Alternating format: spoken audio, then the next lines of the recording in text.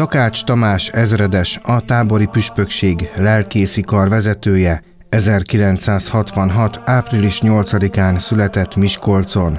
Kilenc éves egyházmegyés papi szolgálat után kérte áthelyezését a tábori püspökségre. Irakban, Koszovóban, háromszor pedig Afganisztánban teljesített missziós szolgálatot, bajtársként segített a katonáknak embernek maradni az embertelenségben is. A papi hivatás az egy szolgálat, amit sokféleképpen lehet teljesíteni. Ma egy egészen különleges területről beszélgetünk vendégemmel, vendéglátommal. Tamás atyának vagy ezredes úrnak szólíthatlak? Mm, kompatibilis vagyok mind a kettővel, és hallgatok mindenre. És itt hogyan szólítanak? Tamásnak.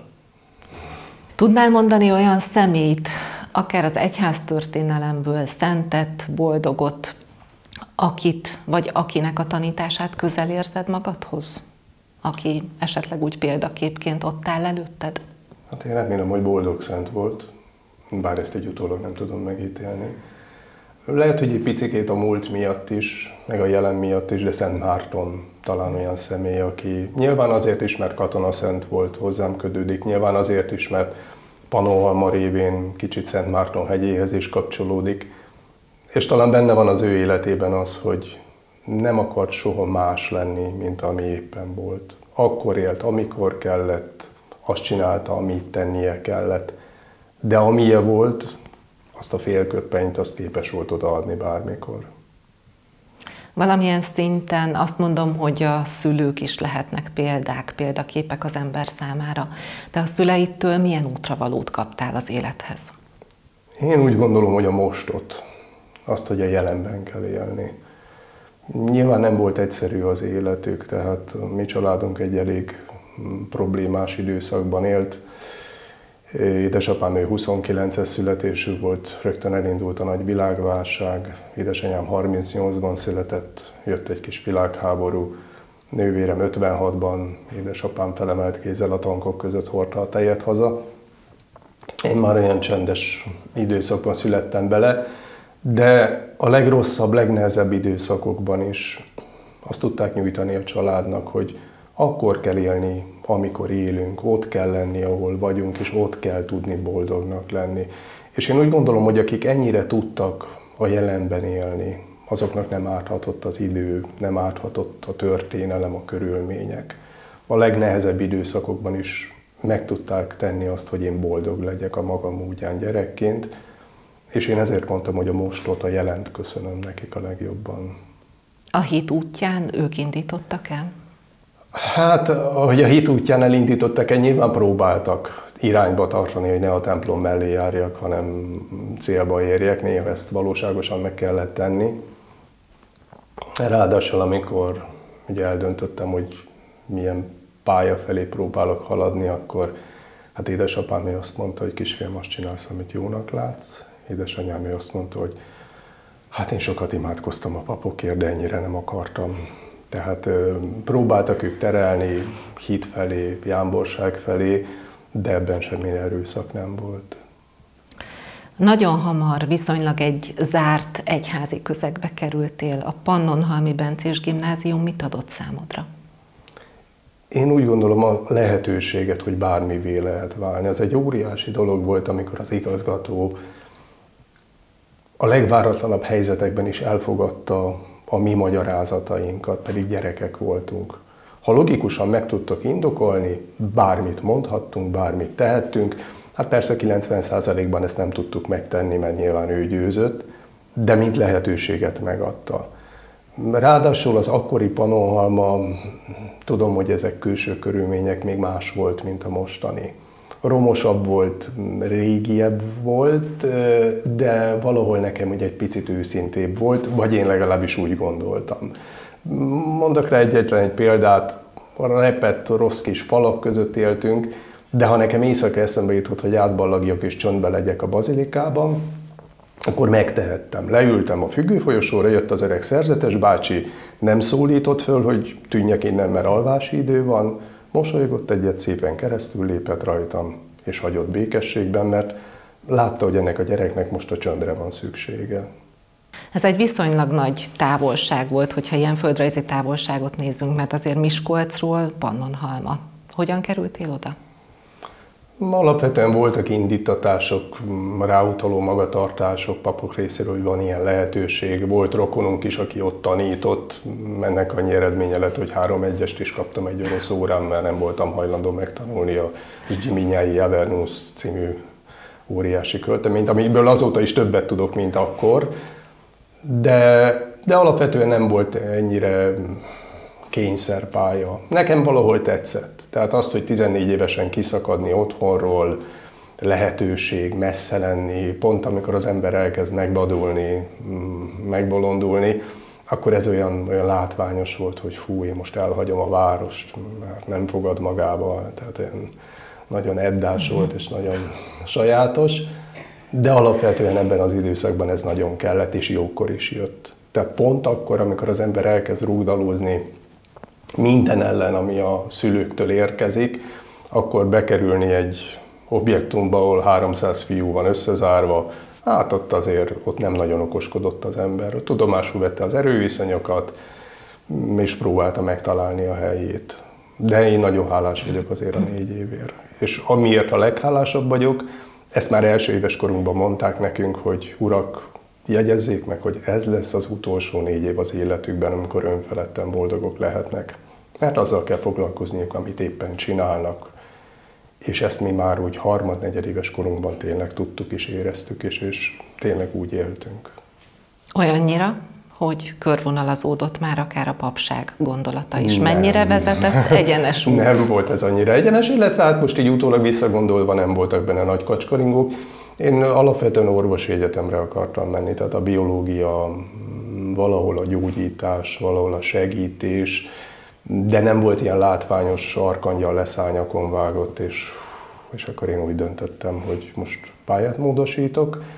Valószínű hozzátartozott az is, hogy találkoztam nem egy-kettő normális egyházmegyés pappal is.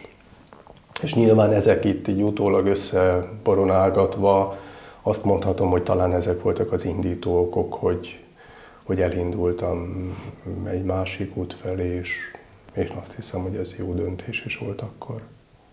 Kezdtél az EGRI szemináriumban, majd Budapestre kerültél. Igen. Igen, tehát alapvetően én EGRI megyés akartam lenni, és általában nekem mindig azzal volt a bajom, amit én akartam. Tehát amikor én EGRI megyés akartam lenni, akkor volt, aki minden azt akart, hogy én a központi szemináriumba menjek. Ott EGRI megyés voltam, ezt nyilván nem nagyon tolerálták, mert ott központistának kellett lenni, de maga az egész rendszer is arra jó volt, hogy rájön az ember, hogy itt nem méltóságra, hanem szolgálatra szerződik. És valójában én ezt már 18 évesen megtapasztaltam, amikor behívtak konkurzusra minket, és nagyjából az első nap még civilben ott kóvályogtam az egri szemináriumban, és egy idős apáca néni odaállt elém, és közölte, hogy dicsértessék, tisztelendő úr. És akkor így hirtelen körbenéztem, hogy kinek tetszett szólni, látta a zavaromat, és közölte, hogy ez nem magának szól, hanem a beosztásának. És egy öreg néni ott helyben rögtön helyre tette a méltóságomat, és hát remélem ez azóta is a helyén van ilyen szinten. 1991-ben az Egri Főegyház megye szolgálatára szentelt föl Seregi István érsekatya. Következett egyházmegyés papként egy, egy kilenc éves időszak. Így puskáznom kell, gyorsan végig sorolva a szolgálati helyeidet. Kiskörére kerültél 91-ben, aztán Pásztóra, Egerbe, Jászárokszállásra, Tiszaújvárosba, Mezőkövesdre és végül Hídvégardóba. Ki tudnál emelni egy-két olyan mozzanatot a kápláni időszakból, amire olyan örömteli szívvel emlékszel? Igazándiból a felsorolt helyeknek gyakorlatilag 90% a kápláni hely volt, a legutolsó volt csak a plébánosi hely, és alapvetően nekem mindegyik szép volt, mindegyik más miatt. Emlékszem, amikor kiskörére kerültem, akkor eszembe jutott, hogy annak idején gimnazistaként a kiskörei víztározónál zsilipeltünk kenutúrán. Én fölmentem, szétnéztem, sohajtottam, hogy te jó ég itt emberek élnek. Kiégett táj, sík, minden, sehol egy élőlény. Majd x évre rá lett az első helyem, és rájöttem, hogy itt tényleg emberek élnek, és nem is akármilyenek. bűbájosak voltak. Tehát egymást jöttek a történések, amikor lerobbant az autóm helyben, a bátszalókon, felajánlotta két részek, hogy ő majd tolja a kocsit. Hát ez a jeges úton annyira nem volt vidám történet, látták ők is, hogy ebből baj lesz, én álltam ott reverendában, ők csúszkáltak hanyattesve. Aztán odaadták a családi autót, ami persze lerobbant szintén, mire kiskörére értem. És akkor nekiálltam vasárnap stoppal elindulni a filiákba. Hát nyilván egy 3000-es településen vasárnap hajnalban nem túl nagy forgalom volt, kocsmából jöttek ki a traktorosok, és közölték, hogy hová megy főúr. Hát mondom, mennék misézni. Na üljön föl, illetve álljon föl, a traktor hátuljára fölálltam, és lobogó reverendába így elindultunk misézni, nekem hétig remegett a karom, tehát egy magyar filmet lehetett volna forgatni. És alapvetően minden egyes helyhez kötődnek olyan események. Volt, ahol jókor voltam jó időben. Tehát a jásságban például csodálatos volt, hogy gyakorlatilag hát alig tíz évvel voltam idősebb, mint a saját pujáim, akik a kezem alatt voltak. És egy csodálatos kis csapat volt. Nagy gazemberek voltunk velem együtt valószínűleg, de, de ez egy csodálatos időszak volt. És minden egyes helyen talán az volt a titka, hogy, hogy én soha nem úgy mentem oda, hogy én itt most valamit meg akarok változtatni, hanem hogy egy szeretnék lenni a többiek közül. És ez érdekes módon annyira érződik az emberre, hogy amikor Pesti volt hittanosaim lejöttek meglátogatni, akármelyik helyre, akkor egy fél óra múlva azon nevettek, hogy én a helyiek tájszólásával kezdek el beszélni.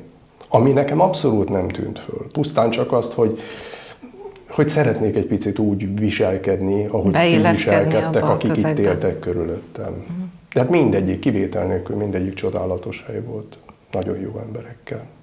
Kilenc év egyházmegyés papi szolgálat után átengedtek a katolikus tábori püspökség szolgálatára. Beszéljünk egy picit erről, hogyha jól tudom, akkor jövőre lesz 30 éves a, a tábori lelkészség, a tábori püspökség.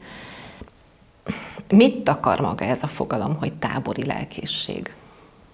Hát inkább a püspökség szót használjuk, mert Upár honvédségileg hivatalosan ugye a lelkészi szolgálat lenne a megnevezése, a titulusa, de mivel a katolikus tábori püspökség egyházmegyei joghatóságú igazándiból, annyi a különbség, hogy mi nem területhez kötődünk. Tehát a mi püspökünk nem egy egyház megyének, egy területnek a, a vezetője, hanem személyekhez vagyunk rendelve. Tehát a Honvédelmi Minisztérium, a Magyar Honvédséghez tartozó katonák, polgári alkalmazottak, illetve az ő családjaik lennének a mi báránykáink, aminek egyrészt van talán egy nehézsége, hogy nem lehet körülhatárolni a területet, de ugyanakkor van egy óriási nyitottsága is. Tehát mint a szovjet csapatok Battonyától Nemesmedbeség, bárhol, ahol mi katonát vagy hozzátartozót találunk, és igény van ránk, akkor nekünk joghatóságunk van. Most majdnem azt mondom, hogy felettük, de inkább értük. És ez egy óriási szabadság, lehetőség, hogy az embert nem körvonalak határozzák meg, nem objektumok, nem templomfalak határolják be, hanem a személyekhez való kötődés. A mi arányaink nagyjából úgy néznek ki, hogy van egy szervezet, a tábori lelkészés szolgálat, aminek három ága van, a katolikus, a protestáns és a zsidó. Ebből nyilván én a katolikus képviselem, és arról vagyok felhatalmazva, hogy beszéljek. Mi nagyjából egy apostoli kollégium vagyunk, tehát egy olyan tucatnyian garázdálkodunk a világban, amire lehet azt mondani, hogy kevés, lehet azt mondani, hogy sok. Mm, jó néhány évvel ezelőtt beszéltem egy szülész orvossal, ő mesélte, hogy amikor a újonnan szült édesanyja panaszkodott neki, hogy kicsinyeli a gyerekét, akkor neki mondta, hogy hölgyem, minőségre dolgozunk, nem mennyiségre. És én azt hiszem, hogy valahol a, a hadipapokkal is ez a helyzet, hogy inkább legyünk kevesebben, de normálisak és, és jó papok, mint létszámra sokan semmit érőek.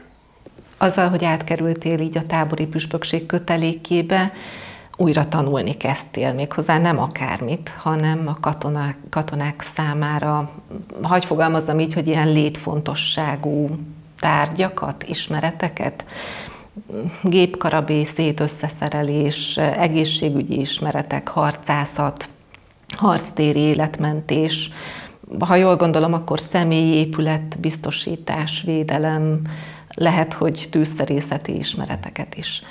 Ez feltétele volt annak, hogy átkerülj? Nem, nem.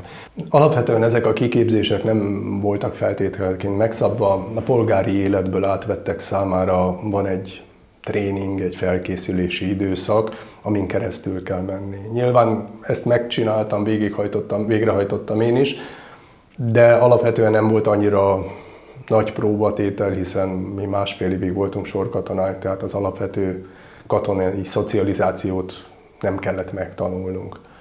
Viszont nagyon sok olyan dologba belementem, aminek a célja az volt, hogy együtt lehessek a többiekkel. Akár egy ejtőernyős képzés, vagy egy harctéri életmentő katonaképzés. Nem azért volt fontos, hogy ezzel bizonyítványokat szerezzek magamnak, hanem mindegyikkel egyre több lehetőség volt arra, hogy speciális körülmények között, néha extrém körülmények között is együtt lehessen élni, dolgozni a katonákkal. Jól gondolom azt, hogy egy kis falu közösségébe, vagy egy kis település közösségébe egy egyházmegyés pap viszonylag könnyebben be tud illeszkedni, mint a katonaság közé egy, egy katonai lelkész? Mi segítette a beilleszkedésed? Én nem gondolom, hogy a beilleszkedés szempontjából különbség lenne. Tehát ha valaki normálisan gondolkodik, nem akar feltétlenül fő tisztelendő úr lenni, hanem ember szeretne maradni, akkor mind a két helyen ugyanúgy be lehet illeszkedni. Annyiból szerencsésebb a mi helyzetünk, hogy még egy kis faluban, ha egyáltalán van pap, akkor azért hálásak. Ha fiatal szeretik, mint a kiskutyát, ha már idős, akkor hát lehet, hogy már nem egészen tökéletes, de a félfalut ő keresztelte, egyáltalán örülünk, hogy van még. A katonaságnál ilyen nincsen. Ott megadják a tiszteletet, köszönnek, de ha emberileg nem fogadnak el, akkor igazándiból nem érdekli őket, hogy miért vagy ott. Ha emberileg elfogadnak, akkor megkérdezik, hogy mit hoztál magaddal. Akkor mehetünk mélyebbre. Annak idején, amikor szolnokra kerültem, akkor én egy éven keresztül, jó persze nyilván ez kisarkított dolog, szinte semmi más nem csináltam, csak mosolyogtam, köszöntem és sportoltam. És egy év múlva mindenki mosolygott, köszönt, és hát egy év egymás rugdalózása után az öltözőben megkérdezte tőlem az egyik katona, hogy hát, hm, te vagy a pap? Hát, hm, mondom én. És innentől elindult egy családi kapcsolat, mert neki van két neveletlen gyereke, és folytattuk tovább a társalgást. De csak úgy odállni, hogy én vagyok a pap, osztom az igét, mondom a malasztot, erre nincs vevő. És ilyen szempontból talán szerencsés, hogy nem torzítja annyira az ember személyiségét. Ha mindenki azt sugározza felénk, hogy ti vagytok az okosok, ti osztjátok az észt, akkor ezt előbb-utóbb elhiszi az ember. Most az utolsó missziómban aranyos volt, mert voltak Fülöp-szigeteki emberkék is, akik egészen más vallásosságot mm, produkálnak, mint amit mi megszoktunk. És ezek az emberek a misén, ha énekeltek, az utolsó porcikájukkal is táncoltak hozzá. Figyeltek, kommunikáltak. Nem az, én mondtam a, a saját okosságomat, és föltettem egy költői kérdést, hogy ugye Jézus azt mondja, hogy. Mire elkezdtek a padból válaszolni, igen, azt mondja, igazad van. Hát teljesen kizökkentem a szerepemből, tehát alig bírtam befejezni a prédikációt. De rá kellett döbbennem arra, hogy ez szükséges ahhoz, hogy ne szálljon el az ember. Tehát amikor mindig csak én mondom meg az igazságot, én osztom az észt, akkor előbb-utóbb elhiszem magamról, hogy én vagyok a mindentudó, és majdnem a mindenható is.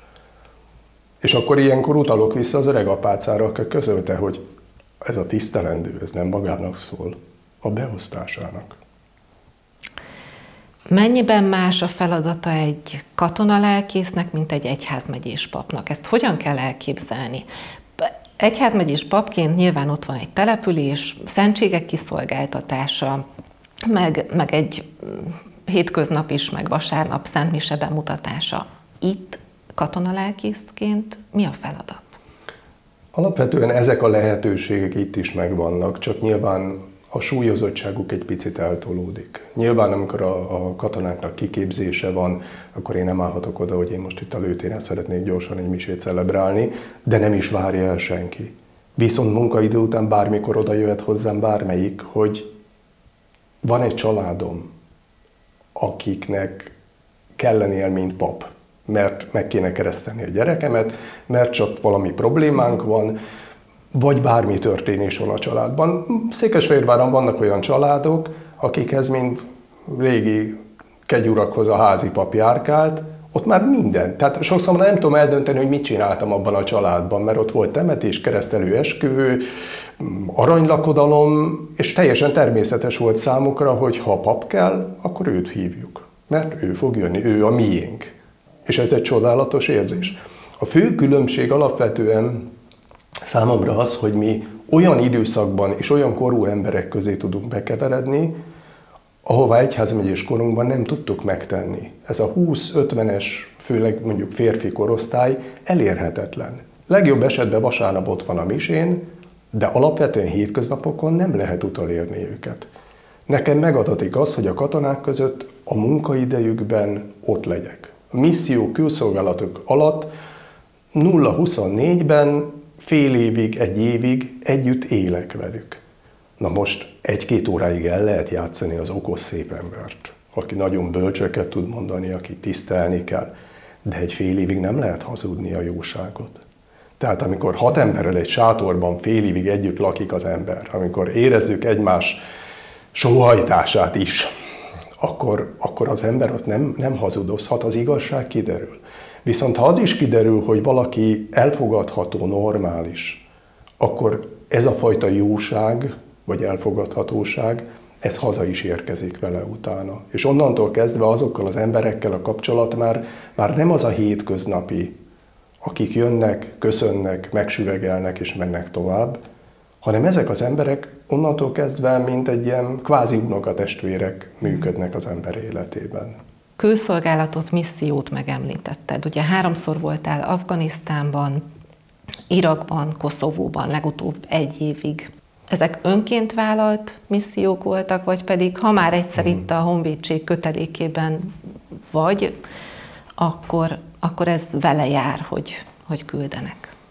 Hát nyilván belejárója, de nyilván van az embernek némi nemű beleszólása. Tehát um, alapvetően vannak helyzetek, amikor az ember kérheti, hogy hová, esetleg, hogy mikor, és hát nyilván vannak speciális helyzetek, amikor azt mondják, hogy most és te. De nincsen ezzel semmi baj, tehát alapvetően ez benne van a szolgálatban, hozzá tartozik a szolgálathoz, és valamilyen módon pont a különlegessége miatt, hogy egy másik helyen, egy idegen országban, más kultúrában együtt a mieinkkel, egy óriási lehetőség is benne van. És benne van nyilván az is, hogy mivel idegen területekre megyünk, ahol más vallású, más nyelvű emberek élnek, az ottaniakkal való kapcsolatot is szépen kialakíthatja az ember. Nyilván itt lehetnének surlódások is, tehát én visszaemlékszem a legelső missziónkra, amikor Afganisztánba mentünk, és hát az akkori parancsnoknak még voltak ilyen rémálmai, hogy a dögcédulám mellől vegyem le a keresztet, mert majd ha engem fogságba ejtenek, le fogják mészárolni az egész brigádot, mert hogy keresztények vagyunk, és egy iszlám országban ez horror. Alapvetően egyetlen egyszer fordult elő, hogy a katonáktól megkérdezték a vallási témát, ők okosan rögtön hozzám irányították a klienseket, hogy itt van a szakember, majd ő jól elmagyarázza, és kérdezték, hogy hiszünk-e Istenben. Hát mondom, igen, nagyon jó. És hányban? Hát mondtam, hogy egyben. Tökéletes. És milyen vallásúak vagyunk, keresztények? Hát ez annyira nem jó, de minden lehetőségünk megvan arra, hogy azért célba érkezzünk. Ez volt a muszlim világ. Amikor kim voltunk most Koszóban, a protestáns amerikai lelkészekkel kapcsolatban volt nagyon kellemes élmény. Így az ember általában nincs ahhoz hozzászokva, hogy nem mindig úgy nézzen a másikra, hogy most az én báránykáimat elviszi. Ezek a gyerekek tudták, hogy mi Amerikából eljöttünk ide, hoztunk x ezer embert, de három protestáns lelkész van velük. Katolikus nem volt. Én megkérdeztem, van-e igény? Mondták, hogy ször. Fölmérjük, megkérdezzük. Fölmérték, megkérdezték, biztosították a helyet, megszervezték az egészet, és egy csodálatos együttműködés volt velük. És hát, hogy a másik, a harmadik szolgálati ág is említve legyen, a zsidókkal kapcsolatban, amikor Koszovóba kiértünk, bemutattak egy zsidó őrnagyot nekem. Egy amerikai zsidó őrnagy, akinek az első kérdés az volt, hogy eljöhet-e a misére. Hát mondom, ez azért így ebben a formában váratlan kérés, de hát ha jó hajtja, Egyszer eljött, végigülte, majd megkérdezte, hogy a templomba be lehet-e bármikor jönni, mert olyan jó itt a csendben. Jó, én is elballagtam az ő pénteki imádságára néha, de ami a legnagyobb élmény számomra vele kapcsolatban az volt, hogy amikor hazautazott tíz hónap szolgálat után, akkor személyesen már nem találkoztunk. De az irodám ajtajára föl volt egy kis csomag akasztva, ami benne volt a mezúzája, ami tíz hónapig az ő ajtófélfájára volt fölszögelve, a tóra idézettel, és alatta egy szöveg, hogy tudod, gondolkodtam, hogy ezt hazaviszem magammal, de jobb helyen lesz nálad.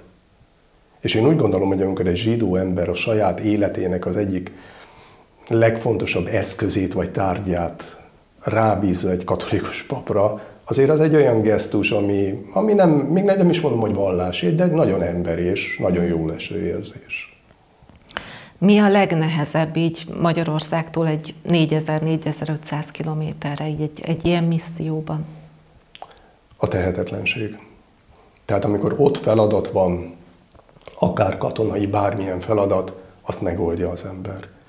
De amikor azokkal van probléma, akiket itthon hagy, tehát a katonák családja, gyereke, szülők, betegség, amikor tehetetlen valamivel szemben, na én azt hiszem, hogy ez az a tényező, ami, ami azért meg tudja mozgatni az embereket rendesen.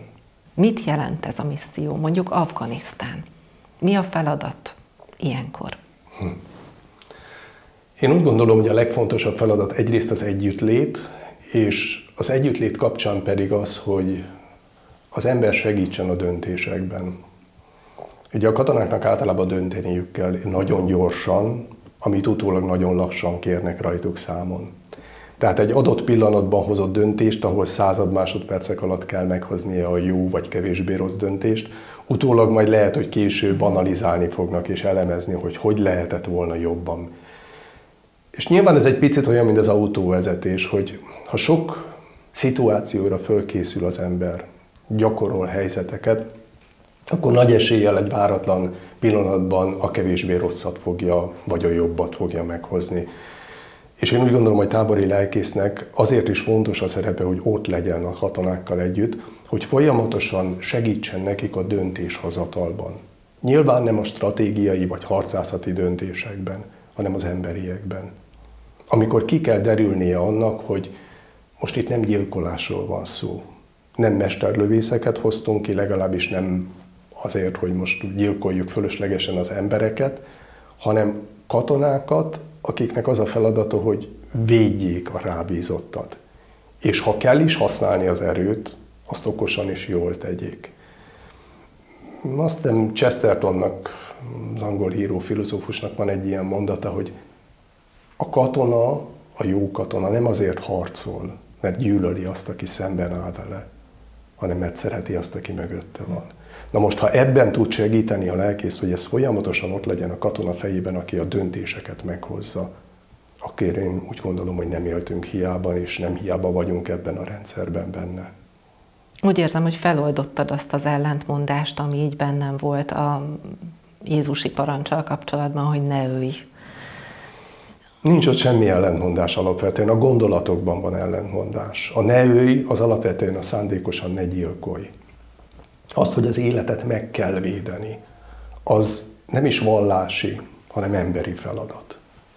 Tehát igazándiból a gyilkolás, amit gyilkolásnak mondanak, meg ne ölj, az valójában csak szemlélet kérdése, hogy mikor válik rosszá, és mikor válik lehetőségé. Nyilván cél soha nem lesz.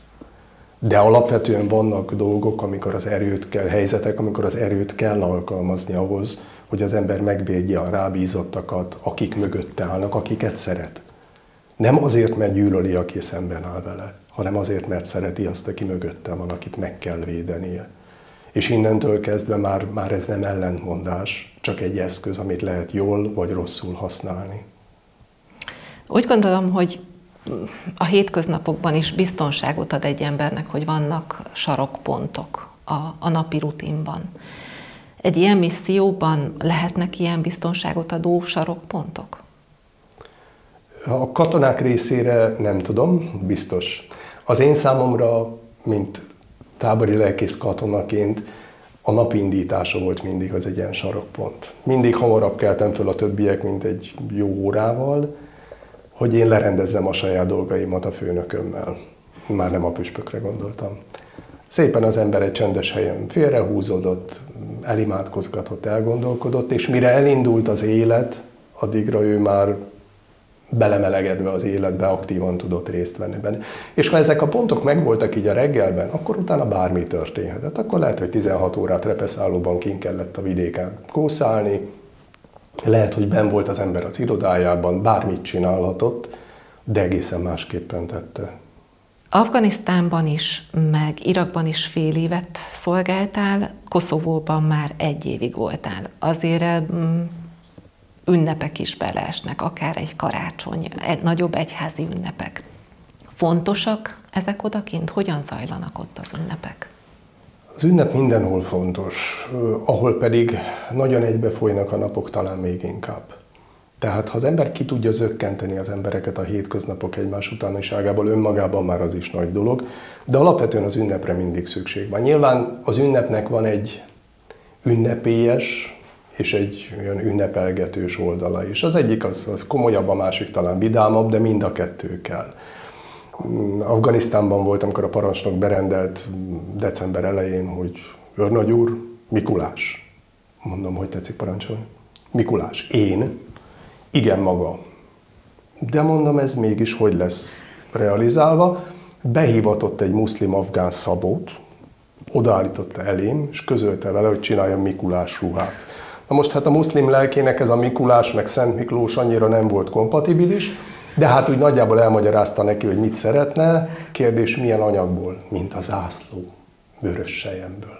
Csodálatos volt. Egy napra rá, mint egy klukluxnál úgy néztem ki, fehér passz és vörös ruhában ott hólálkodtam. Mindenki vicsorgott a rögéstől, vidámak voltak, tehát az evangéliumnak ez is egy útja, hogy az örömhír terjeszte az ember. Aztán jött a karácsony, amikor viszont már én kérdeztem meg az egyik srácot, hogy itt kint mi a legfontosabb, talán úgy röviden számára, ami az ünnepből megmaradt, vagy a legközponti belem, és ő azt mondta, hogy a hiány. Mert hiányzik a családom, hiányoznak az ízek, az illatok, minden hiányzik, ami otthon nekem az ünnepet adta, de valahol mégis benne van ez a fajta ünnep is. És ezek után, ha így hazamegy, hogy kint is a sallangok nélkül, most nyilván a család, nem a családot értem a sallang alatt, de a körülmények nélkül is tudott ünnepelni, akkor otthon még jobban fog tudni. Aztán persze lehetett ezt bonyolítani, egyik húsvétot azt kint töltöttem Kabulban egy öreg amerikai tábori lelkésszel, aki alapvetően szláv származású volt, tehát ez a kicsit szlávos temperamentum benne volt, és hát kérdeztem tőle, hogy George, mit hagyunk ki a szertartásból, mert hát mondom, a húsvéti azért az nem katonának való. Semmit. Mit csinálnának? Ülnének a konténerben, néznék a filmeket. Ilyet meg úgyse láttak még soha. Hát ilyet biztos, hogy nem. Három és fél órás szertartás volt, a végén már én is majdnem rosszul lettem. Az öreg nyitott egy olyan tűzszentelése, hogy raklapokból csinált mágiát, a katonák akkor is nagyon boldogok voltak, mert két okos pap 10 percig nem tudta meggyűjteni a húsvéti gyertyát, olyan lángok csaptak ki belőle. Tehát egy boldogsággal eltöltöttük az életüket. De azért mondom, hogy, hogy a körülmények mindig meghatározzák, hogy mi lesz a végeredmény. És valójában egyetlen egy dolga van az embernek, hogy az adott körülmények között az adott embereknek próbálja meg adoptálni azt, ami, ami lehetőségként ott van. Van, amikor egy kicsit többet kapnak, mint otthon, van, amikor egy kicsit kevesebbet, vagy másképpen, de én úgy gondolom, hogy az igény az mindenféleképpen megvan bennük. Május 21-e, hogyha már így ünnepekről volt szó, a Magyar Honvédelem napja, a magyar katonák bátor helytállásának az emléknapja. Hogyan ünnepel a honvédség? Hát Neked nyilván... milyen szereped van ebben? Majd azt megmondják. De alapvetően általában a várban van egy központi koszorúzás, központi ünnepség, de az alakulatok is ünnepelnek. És én úgy gondolom, hogy valahol talán pont a Honvédelem napja is egy olyan ünnep, amikor az ember rájön arra, hogy, hogy hol van a helye szerepe ebben az egész nagy rendszerben, mint katonának, mint honvédségi tagnak. És talán rájön arra is, amit ugyan sokszor olyan rossz szájízzel szoktam mondani, meg, meg rossz érzés hallgatni is, amikor ünnepségeken úgy gondolják, hogy a katonák ünnepelnek, a civilek meg ott bámészkodnak. Tehát amikor megszólal a himnusz, a katona vigyázva vágja magát, tiszteleg és énekel, a civilek meg kóvályognak és nézik, hogy hát néha értetlenül, néha együttérzően, hogy hát igen, ezt így kell csinálni. Pedig alapvetően valahogy pont az lenne a cél, hogy ezt a közös hangot az éneklés kapcsán, meg az ott lét kapcsán is megtaláljuk. És ha ez sikerül, akkor lehet, hogy egyre erősebben kialakul az, amit, amit nem én találtam ki, de nagyon bölcs mondás, hogy nincsenek kicsiny nemzetek, csak kicsiny hitűek. Tehát ha elhisszük magunkról azt, hogy mi képesek valahol, vagyunk valahova elérni közösen, akkor a másikban nem az egyenruháját fogom nézni, hanem a tekintetét, az emberségét. És ha már itt a, a honvédelem napról volt szó, meg a Budavár visszafoglalásáról, azért van ott egy rész, amiről nem szoktunk beszélni. Oké, okay, hogy harc, meg győzelem, de a közös küzdés. Tehát amikor az emberek együtt tesznek valamit, ami nem kellemes, nem jó, de egy nagyobb cél érdekében. Amikor képesek áldozatot hozni azért, hogy az egésznek jobb legyen. És akkor innentől kezdve a honvédelem napja már nem csak a katonáké. Sok minden szóba került így. Nem csak a misszióra gondolok, de, de lehet, hogy onnét is tudnál ilyen helyzetet mondani. Tudnál a, a Jóisten szeretetére, inkább gondviselésére példát mondani az életedből? Példát többet tudnék mondani. Egy engem személyesen nagyon megérintett. Nyilván mindenkinek megvan a saját kis bogara, ami fontos az életében.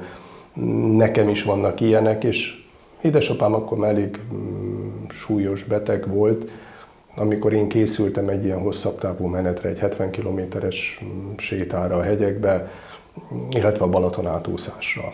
És én ezt úgy éreztem, hogy ez nekem fontos, ez kell. És hogy hogy tud beleavatkozni a nagy rendező az ember életében, elindultunk a túrán, és 50 kilométernél befejeztük. Megegyeztünk, hogy lehetett több távot menni, ezt most fejezzük be az 50-esnél. Ennek az eredménye az volt, hogy másnap én még tudtam járni. És édesapám rosszul lett. Ágyban fekvő volt, de akkor már mentőt, 41 fokos láza volt. Tehát ha én akkor végigmegyek a 70 kilométerem, akkor az öreghez én nem tudok mentőt hívni. És ezt még lehetett fokozni, mert utána javult a helyzete, kórházba kerül, de, de úgy föl tuningolták, és, és úgy lehetett látni, hogy jobban is érzi magát. Beszélgettünk, és mondta is, hogy kisfiam, persze, menj el a Balaton átúszásra, az neked fontos, ezt meg kell csinálni. És én elmentem, átúztam a Balatont, majd visszamentem, este még beszámoltam neki, és másnap reggel meghalt. Szóval ez úgy érdekes volt. Egyrészt benne volt az, hogy amikor a, a szülő megengedi a gyerekének, hogy játszom még egy kicsit, meg valahol benne van a gondviselés is, hogy ezt a játékot megengedi, hogy ő jobban lett azért, hogy nekem jobb legyen. Említetted már azt, hogy másfél évig te is voltál katona, mielőtt a szemináriumot elkezdted. Ugye volt időszak, amikor két éves volt a 70-es években a sorkatonai szolgálat, aztán másfél, egy év, fél évre csökkentették, 2004-ben pedig egy 135 éves hagyomány szűnt meg Magyarországon azzal, hogy eltörölték a sorkatonai szolgálatnak az intézményét. Megoszlanak a vélemények arról, hogy ez most jó, vagy kevésbé jó. Véleményed szerint így már azért itt vagy 2000 óta, 23 éve. Belelátsz. Mire tanít a katonaság? Én azt gondolom emberségre. Tehát, ugye azt szokták mondani, hogy térben, időben és kapcsolatokban élünk. A térrel, idővel általában nincs nagy problémája az embernek, meg körülnéz ott a fal, annak nem megyek neki. Ránézek az órámra, nem szaladok ki az időből. A kapcsolatokkal vannak problémák. És azért a katonaság extrém körülmények között emberi kapcsolatokban embernek maradni, az egy óriási lehetőség. Akik ezt meg tudják csinálni, és a bajban társak, bajtársak lesznek, ott azok az emberek hitelessé válnak és innentől kezdve az emberség megmarad. Ha az emberségében valaki hitvány, akkor nem alkalmas katonának sem, papnak sem. Akkor baj van a rendszerrel, ha az alapok mozognak. De ha ezt valaki meg tudja erősíteni, akkor van esélye arra, hogy akármelyik úton indul tovább, ott, ott nagy, nagy rosszaságot ne csináljon. Ha saját magával szembe tud nézni, az emberségében nincsen hiba, akkor én azt hiszem, hogy a lehető legtöbbet kapta, és én úgy gondolom, hogy a katonasság most függetlenül attól, hogy milyen formációban gondolkodunk, ez egy óriási lehetőség. Amikor én rábízom az életemet valaki másra, amikor nyugodt vagyok, mert ő áll mögöttem, és tudom, hogy ezért hátulról nem tudnak megtámadni, mert ő engem meg fog védeni. És nem azért, mert az a dolga, hanem azért, mert mi vagyunk egy tűzpárban. Akkor, akkor ez további lehetőségeket is ad, és már nem csak az uniformizált életre, hanem, hanem a civil létben is. Bajtárs vagy, vagy lelki vezető vagy? Külön lehet ezt választani? Én remélem ember vagyok, és akkor innentől kezdve az összes többi az adottság vagy funkció kérdése. Ha baj van, akkor társ, ha lelki baj van, akkor lehet, hogy vezető is, vagy csak hallgató, de ez csak úgy működik, hogyha az emberi tényező is ott van mögötte. Volt olyan pillanat az életedben, ami, vagy a szolgálatodban, ami megváltoztatott? Nyilván, nyilván sok volt.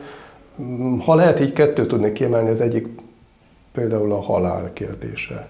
Nyilván egyházmegyés papként is találkoztam a halállal, meg hát az emberek találkoznak vele, ha akarják, ha nem.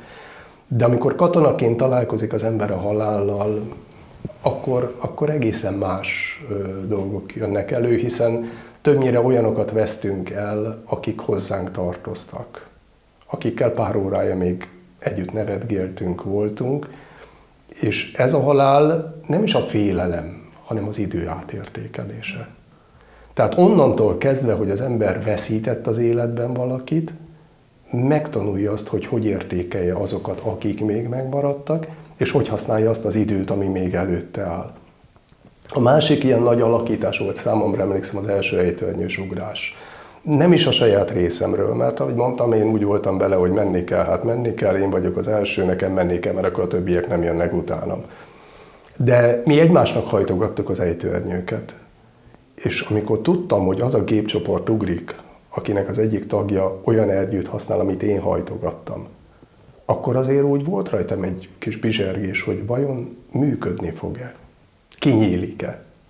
Nem az én hibámból fog más balesetet szenvedni, vagy meghalni. És jöttek a csomagok, egy, kettő, három, az az enyém, jön, jön, jön, kinyílt. És az volt az a pillanat, amikor úgy megfogalmazott bennem ez, hogy bizalom és megbízhatóság. Tehát ha te hajtod az én ernyőmet, én nyugodtan ugrok ki vele. De te is nyugodt lehetsz, ha azt használod, amit én készítettem elő számodra. És innentől kezdve az ejtőernyő már csak egy, egy tárgy, egy szimbólum. De ez vonatkozik mindenre. A bizalmat véleményed szerint meg kell adni az embernek, vagy ki kell érdemelni? Ki kell érdemelni. Tehát ha nincs mögötte tett, akkor az, az nem ér semmit. Nyilván lehetőséget kell adni a bizonyításra. De alapvetően, ha nincsenek kö, mögötte a közös erőfeszítések, akkor, akkor az csak szöveg, az szó is elszáll. De ha ott vannak mögötte a közös menetek, a közös kínlódások, a közös szenvedések, akkor lehet, hogy már nem kellenek a szavak. És mégis van bizalom. És én úgy gondolom, hogy a honvédségnek, a katonaságnak ez egy óriási lehetősége megadja a lehetőséget a kihívásokra, a jó értelembe vett közös szenvedésekre, és onnantól kezdve olyan szoros kapcsolatok alakulhatnak ki, amit lehet, hogy a polgári életben élők nem is fognak megérteni soha, mert hogy ők nem voltak ott. A briteknél van egy eh, katonai múzeum, és furcsa módon annak az előterében nem medálok vannak, nem fegyverek, nem zászlók, hanem üvegvitrínbe egy pár sáros bakancs jelképezve azt, hogy a parádékhoz, a medálokhoz, a felvonulásokhoz ez a sáros bakancs viszel. Ezt nem lehet megkerülni. Tehát ha nem akarsz keresztül menni a sáros vögös úton, soha nem fogod elérni a céled, célodat. Ha megteszed, akkor nagy esélyed van rá, hogy a parádéban is lehet részed. De ha nem, az semmit nem von le az út értékéből. Sáros bakancsokról beszéltünk, elismerésekről még nem esett szó. Engedd meg, hogy teljességigénye nélkül néhányat megemlítsek. Kiérdemelted a szolgálati érdemjel, ezüst és arany fokozatát. Több alkalommal a Honvédelmi Minisztérium politikai államtitkára dicséretben részesített, árvízvédelemért szolgálati jel elismerést kaptál, békefenntartásért szolgálati jel kitüntetést, több alkalommal NATO medált, 2007-ben katonák példaképe díjat, itt most megállnék egy pillanatra. Mit jelent ez a díj a katonák Így a Szentélvatási perem első szakadáron megálltunk egy pillanatra, jó? Igen, majd utána folytatom, de erre egy ez picit érdekes, térjünk Érdekes ki. az a díj, mert ezt még Szolnokon terjesztettek föl, Pesten adták a díjat, és ez azért volt érdekes, mert a bajtási szövetségek, tehát alulról ment a kezdeményezés. És utólag derült ki számomra, már meghalt azóta az az ejternyős őrnagy, aki az én nevemet terjesztette föl. Hárman kaptuk meg abban az évben ezt a díjat az egész honvédségben és amikor fölterjesztettek az Ejtörnyös Bajtási Szövetségtől, akkor jött vissza a válasz, hogy na a papot azt nem. A pap azt, azt hogy képzelik, azt ez katonáknak szólt el. És ők addig verték a vasat, amíg átnyomták a rendszeren, hogy de igen, nekik a papot kell megjutalmazni. Na most visszafelé számomra ez a díj ez azért volt értékes, nem csak azért, mert darabszámra kevés van belőle, hanem mert ugye a példakép az azt jelenti, hogy rá figyelnek. Na most onnantól kezdve nekem is kell magamra figyelni. Tehát innentől kezdve a díj már feladattá vált. Ezt kaptad meg 2007-ben, 2016-ban Magyar Ezüst Érdemkereszt elismerést, aztán 2017-ben migrációs válsághelyzet kezelésért szolgálati jel kitüntetést is kaptál. Hát én szívből gratulálok mindegyikhez. De Mire hát, vagy a legbüszkébb? Legbüszkébb, ugye azt szokták mondani, az emberek szeretnek kitüntetéseket kapni, hogy utána alázatosan nyilatkozzanak róluk. Tehát alapvetően az, hogy büszkeség az egy dolog. Viszont egy történetet, ha már édesapámat itt előcitáltam az előbb, pont a Magyar Ezüst Érdemkereszt volt az, egy kitüntetésemet se látta soha. Sőt, szerintem nem is tudott róla. De ekkor már súly, tényleg súlyos beteg volt, ágyban fekvő, és ő, aki hát egész életén keresztül volt a család fenntartó, ő volt az erő, minden hajnalban úszni járt, gyalogjárt dolgozni, minket vitt kirándulni, és ezek után hosszú időn keresztül ágyban fekvő, már akkor a látása is romlott, és csak plafont tud megfordulni nem tudott. És elvittem neki ezt a medált dobozban, hogy hát meg mégiscsak a kezébe adom, hát hagy örüljön meg, hát büszke lesz a gyerekre, legalább egyet lásson ilyet is, vagy legalább tapincson. És hogy a kezébe adtam, ő úgy, úgy megtapogatta, majd bezárta, és közölte, hogy kisfiam, hozzám már nekem egy pohár vizet. Na most ez volt az a pillanat, amikor én az összes ilyen medállamat úgy bezárogattam, ott vannak a polcon, de zárva, mert az öreg ezzel a mondattal úgy helyre tette a büszkeségemet, meg a dicsőségemet, meg mindent is. Hozzám egy pohár vizet. Mert most nekem az sokkal fontosabb, mint hogy simogassam ezt a vasdarabot, amit a kezembe adtál. Nyilván jól esik az embernek, tehát most hazudna bárki is, aki azt mondja, hogy nem esik jó, ha megsimogatják a buksiját. Na de ha valakinek ez a cél, sőt ezt igényli, hát akkor menjen el kiskutyának. Tehát azt simogatják, az igényelheti. De én úgy gondolom, hogy hogyha valaki összekeveri itt a dicsőséget a szolgálattal, akkor ott, ott már azért baj van. A jutalmazás az meg azoknak a dolga, akiket odaültettek. Beszéltünk külföldi misszióról, sok-sok mindenről. Látod, hogy a következő három, négy, öt éven belül mi vár rád? Nincsenek profitai hajlamaim. Ha a gazdám azt mondja, hogy holnap menjek, akkor holnap megyek. Még 20-25 aktív évre gondolok, tervezek, aztán majd eltöprengek a többén. Jó, nyilván ez a vicc, mert hát fiatalabb én se leszek, de alapvetően nem szoktam előre előre tervezni, amikor megkapok egy feladatot, akkor arra elkezdek készülni. Mondjuk hál' Istennek a, a kis gazdám, ő nagyon jól tudja, hogy hogy vagyok összerakva, tehát általában akkor mondjam nekem a feladatot, amikor tudja, hogy azt már végre is kell hajtani, mert ha csak ilyen terveket vár tőlem, akkor az nem jó. Én rögtön a végrehajtásban kezdek el gondolkodni. De hát majd időben. Szóval én indulok, aztán majd valahol megoldjuk a feladatokat. Én nagyon szépen köszönöm neked azt, Tamás, hogy beengedtél egy picit így a mondjam azt, hogy a kulisszák mögé, hogy, hogy milyen feladatok, milyen kihívások adódhatnak egy tábori lelkészség, egy tábori püspökség keretein belül. Köszönöm neked ezt, hogy beengedtél bennünket, a nézőket is, és hát kívánom, hogy bármilyen kihívás adódik az életedben, azt kellő humorral, derűvel, nyitottsággal és a jó Isten áldásával sikerüljön végrehajtani. Köszönöm szépen. Én köszönöm a lehetőséget.